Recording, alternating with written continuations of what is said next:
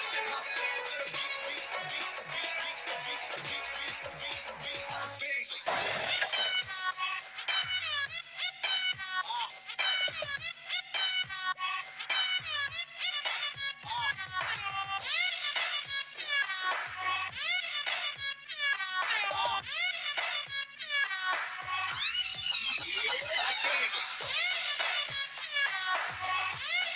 Mountain Dew Kickstart with two new flavors that taste good.